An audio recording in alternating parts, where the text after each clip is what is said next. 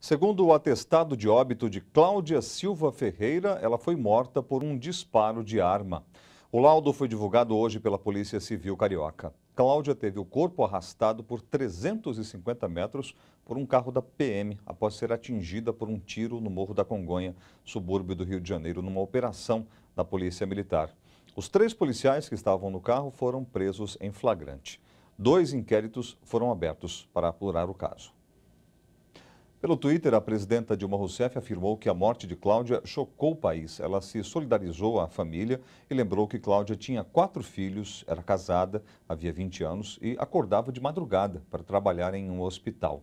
O governador do Rio, Sérgio Cabral, disse que espera a expulsão dos policiais envolvidos e classificou como abominável a operação.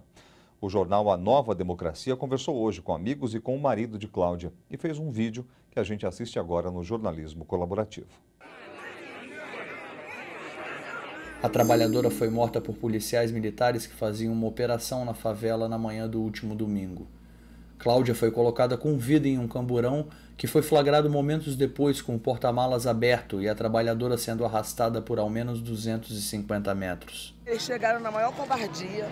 Ela não era bandida, não é nada. Eles falaram que ela era traficante, estava envolvida. Envolvida com o quê? A única coisa que a gente sabe que ela é envolvida é com a vassoura, com a, com a, com a pano de chão e com a pá na Nova Rio. Ela tem quatro filhos dela, tem mais quatro que cria da irmã dela. Entendeu? Ela é trabalhadora, mataram a mulher na maior covardia, arrastaram o corpo dela. Esses policiais têm que parar com a mania de achar que na comunidade só mora bandido, traficante. Não, mora moradores de bem. Pessoas que têm filho para criar. Nossos filhos estudam. O único tiro que saiu foi da arma deles. Não teve confronto com traficante nenhum. Eles chegaram na comunidade no dia de lazer nosso. Era domingo de manhã. As crianças, todos os domingos, jogam futebol na quadra. E se matasse nossas crianças?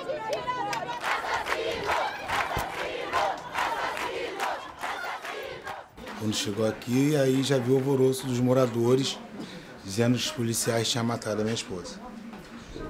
Não. Cheguei em cima de um e perguntei, onde está minha esposa? Ele falou, no Carlos Chaga. Ou socorremos com vida. Era só daqui com vida. Aí olhou assim e deu um sorriso irônico. Ela para mim era minha mulher, minha amiga, minha mãe, minha irmã. Entendeu? Ela era uma multimulher.